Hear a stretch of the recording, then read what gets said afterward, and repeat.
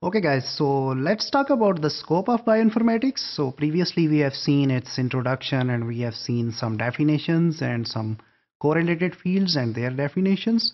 So bioinformatics is relatively a new and emerging discipline and we can trace back its history from somewhere in mid mid 90s uh, where originally it was believed to be involved with the uh, analysis of DNA, protein and RNA sequences. So mainly it started as a sequence analysis uh, subject. So sequence analysis tools have been there since 1960s, but actually the advances in genome sequencing technologies have now been expanded. And obviously that uh, have taken much interest from the research community. So nowadays everyone talks about next generation sequencing machines and the data which is coming from that. So the role of bioinformatics and genome informatics is very, very important. Now let's talk about some trends in the bioinformatics market. So there is a survey which is uh, which is there by this group, Allied Market Research Group, and uh, you can look into the internet. I can provide you the link. So they say that the bioinformatics market will grow from uh, right now where it is to 12.86 billion by 2020 at a compound annual growth rate, which is abbreviated as CAGR of 21.2 percent. So between 2014 to 2020, the market will go up to 12.86 billion. It's actually a really big, big number.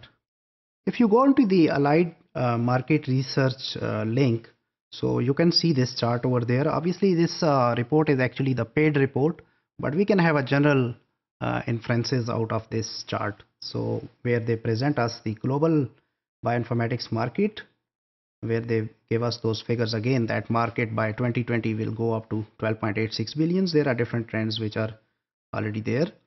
Uh, then they also discuss market by technology wise where they have the knowledge management tools and bioinformatics programs and they different links in which you can also look into the services. So there are different sectors. So where is mostly the investments and mostly the funding is going into this uh, informatics services structure. So most of the biologists, they need help as far as the analysis of their data is concerned.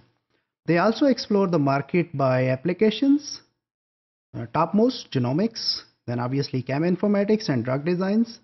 Um, there are the projects which are going on in proteomics, transcriptomics, and metabolomics.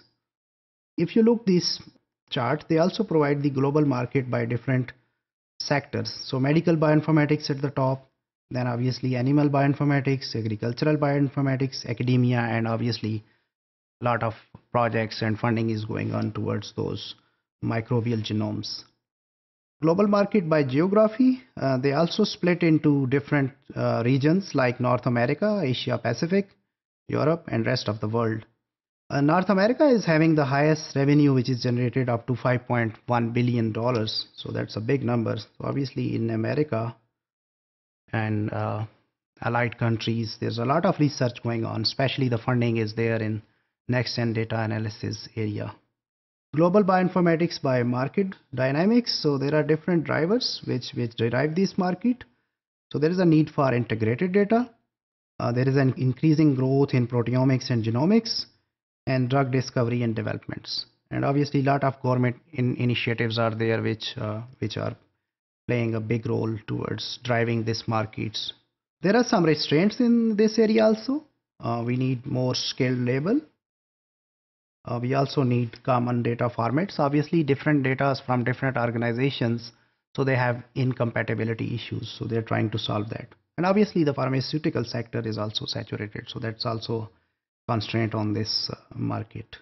But overall, what we conclude from here is that obviously it's a big market so there is a big scope in this area to invest your time to learn this area and obviously to have skills in this area